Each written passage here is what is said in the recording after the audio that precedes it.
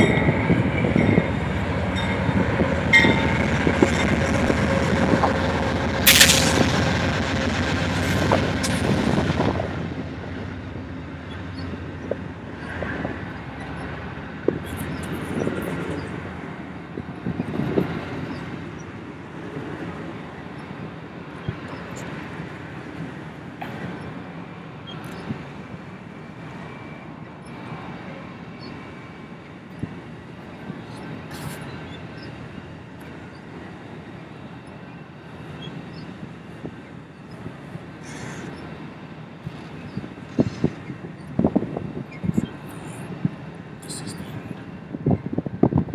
So for you, basically, what you're saying